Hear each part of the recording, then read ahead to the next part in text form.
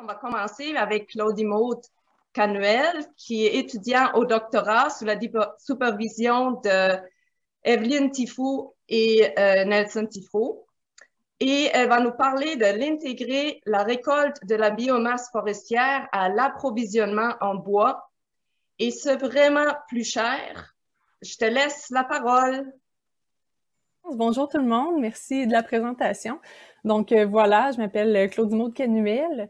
Puis, euh, comme euh, on vous a dit, en fait, moi, je vais vous parler euh, plus d'approvisionnement en biomasse forestière, mais je m'intéresse particulièrement, en fait, au coût d'abattage lié à la récolte de biomasse forestière en complémentarité là, aux autres produits du bois, comme par exemple les produits du siège et les produits des pâtes et papier. ce que je vous présente, en fait, je l'ai fait dans le cadre de ma maîtrise, donc au cours des deux dernières années.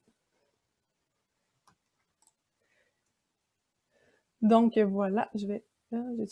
Non, voilà. Donc, euh, pour qu'on puisse se comprendre, en fait, la biomasse forestière, c'est un concept qui est utilisé à plusieurs sources dans notre domaine.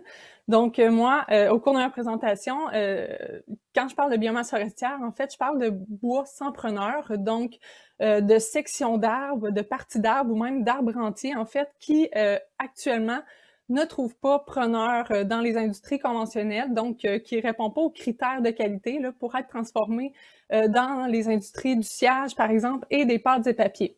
Donc, euh, quand je parle des critères de qualité, là, c'est euh, dans le fond les bois sans preneur, c'est des bois qui vont être soit d'essence non désirée, soit de trop petite dimension, soit trop dégradés ou soit trop fourchus même pour être transformés actuellement.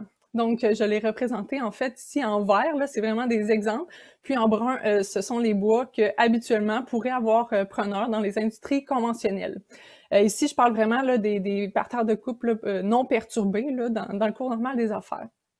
Donc, c'est ça. Lorsqu'on va en forêt, c'est pas 100% du bois qui est récolté. C'est seulement qu'est-ce qui va convenir à l'industrie conventionnelle. Donc, tout ce qui ne convient pas est actuellement laissé sur les parterres de couple euh, sous forme de débris ou de tiges résiduelles. Pourtant, ces bois-là, qui sont actuellement sans preneur, eh bien, c'est une source de biomasse forestière.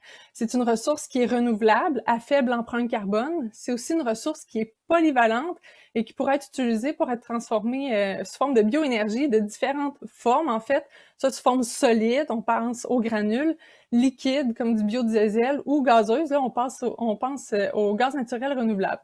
C'est une ressource qui est abondante, sur, pas surtout au Québec, là, mais notamment au Québec.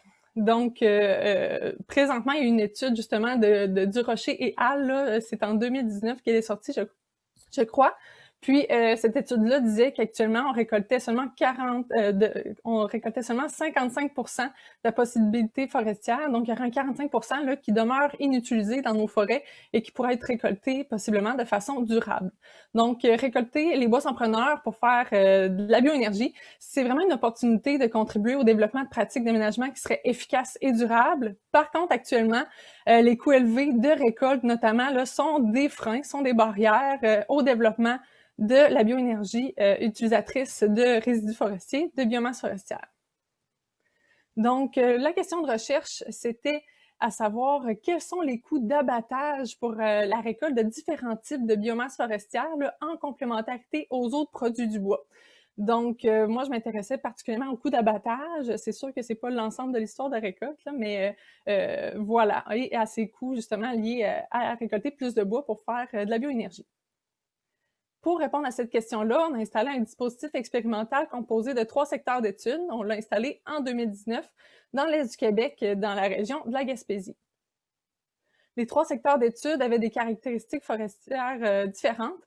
Donc, ici à gauche, à Nouvelle, on peut voir que euh, c'était du petit bois résineux, donc essentiellement du sapin. Euh, la densité était d'environ 2500 tiges à l'hectare, donc c'était très dense. Ensuite, à Reboul, on se trouvait en forêt mixte, donc avec un mélange de peuplier faux trempe, de bouleau à papier, euh, d'épinettes, de sapin. La densité était de 1300 tiges à l'hectare. Puis à Saint-Jacques, la densité était vraiment plus faible. On avait à peine 1000 tiges à l'hectare. Puis comme vous voyez, le bouleau à papier était dégradé. C'était un peuplement mixte avec euh, de l'épinette, du sapin, mon bouleau et peuplier faux tremble. Dans chacun des trois secteurs d'études, on a testé quatre intensités de récolte qu'on a répétées trois fois sur des heures de récolte de 0,27 à 0,65 hectares. Donc, quand je parle d'intensité de récolte, ce sont des intensités incrémentales.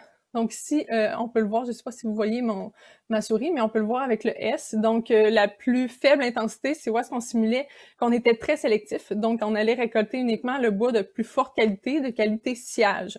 Ensuite, on simulait le cours normal des affaires avec le petit gris pâle, où est-ce qu'on récoltait à la fois le bois de, plus forte qualité, sciage, mais aussi euh, de qualité moyenne, de qualité pâte. Et ensuite, on allait récolter en complémentarité de ça des types de biomasse forestière qui étaient plus sélectifs ou moins sélectifs, euh, justement en complémentarité pour faire euh, justement les, intensités de récolte les plus intenses. Avant la récolte, on est allé faire des inventaires forestiers pour euh, estimer les volumes de bois sur pied, les calculer, la composition forestière, mais aussi bon savoir les, caractéristiques dendrométriques des peuplements et la dégradation des arbres. Puis, euh, au cours de la récolte, eh bien, on a recueilli euh, les données d'ordinateur de bord, les fichiers HPR, qui nous ont permis de recueillir les volumes de bois récoltés, euh, mais aussi les temps de récolte pour estimer bon la productivité et calculer les coûts associés à l'abattage selon un taux horaire de 175 par heure machine productive. Donc ça, c'est pour vous montrer, quand je parle de biomasse forestière, moi, je ne considérais pas les feuilles dans l'étude, ni les petites branches. C'était vraiment sous forme de tronçons d'arbres. Parfois, c'était d'une seule essence, une essence non désirée. Euh, parfois, c'était de toutes les essences mélangées, même les essences non commerciales. Donc, on allait chercher un maximum de biomasse forestière avec euh, les abatteuses multifonctionnelles qu'on avait. Si on arrive aux, résultats, eh bien, quand on allait récolter la biomasse forestière uniquement sous forme de tronçons de peupliers, donc d'essence non désirée, dans les peuplements qui étaient mixtes, bien sûr, parce qu'il n'y en avait pas dans le peuplement de, conifères, eh bien, ça nous permettait d'aller récolter de 3 à 4% du volume total sous forme de biomasse forestière. Là, euh, ça, c'est vraiment 3 à 4% du volume total récolté, euh, tous les, paniers de produits confondus.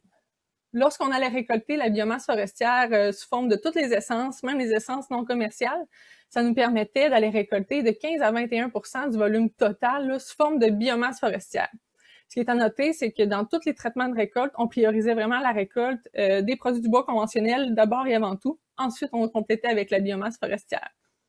Dans les peuplements plus denses avec du petit bois, eh bien, euh, c'est là qu'on a pu récolter les plus grands volumes de biomasse forestière par superficie coupée. Donc, on avait des volumes récoltés euh, qui allaient même jusqu'à 50 mètres cubes à l'hectare. Euh, c'est ça, dans les peuplements plus denses avec du plus petit bois, tandis que dans les peuplements moins denses avec du, du, plus gros, des plus gros arbres, en fait, eh bien, ça nous permettait d'aller récolter des volumes de bois un petit peu plus faibles, qui tournaient autour de 20 mètres cubes à l'hectare. Lorsqu'on allait récolter la biomasse forestière uniquement sous forme de peuplier, donc on était plus sélectif, euh, ça nous permettait d'aller récolter la biomasse forestière, là, environ selon un niveau de 3 mètres cubes, 3 à 4 mètres cubes à l'hectare les analyses statistiques que j'ai utilisées, en fait, j'ai fait des ANOVA et euh, des tests de comparaison de Touquet.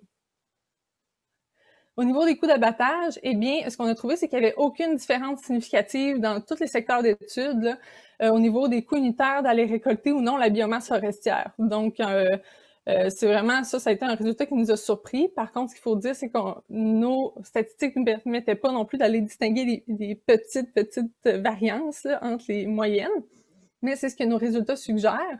Euh, puis ce qu'on a trouvé aussi, c'est que les coûts moyens additionnels au niveau des coûts à l'hectare d'aller récolter la biomasse forestière, eh bien, euh, ils tendaient à être plus élevés pour les peuplements plus denses avec du plus petit bois. Donc, par exemple, ici à Nouvelle, dans la forêt euh, très dense ici, les coûts additionnels pouvaient s'élever jusqu'à 850 dollars de plus par hectare d'aller récolter la biomasse forestière comparativement au cours normal des affaires où est-ce qu'on récolte juste les produits du bois conventionnels versus les peuplements qui étaient moins denses avec des plus gros arbres, ou est-ce qu'on avait qu'on n'a pas trouvé de différence significative là, entre aller récolter ou non la biomasse forestière au niveau euh, des dollars à l'hectare, des, des coûts en fait à l'hectare euh, liés à l'abattage des arbres?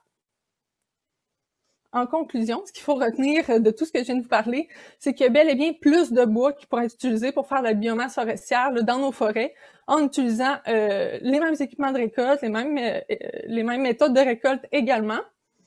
Par contre, à la fois les volumes de bois récoltés, à la fois les coûts à l'hectare liés à l'abattage des arbres et liés à la récolte de biomasse forestière, eh bien, euh, dépendent des caractéristiques forestières. Dans notre cas, ils variaient beaucoup selon un, euh, selon un gradient en fait de densité et de composition forestière. En terminant, ben, je veux vraiment remercier tous les partenaires financiers qui ont participé à l'étude, Énergie, la FAQNT, le CRSNG, Ressources naturelles Canada, et les partenaires terrain, évidemment, là, qui ont permis de réaliser les travaux. Et enfin, ma fameuse équipe de recherche, sans qui tout ça n'aurait pas pu arriver. Donc, merci beaucoup de votre écoute. Merci beaucoup pour cette euh, présentation très dynamique.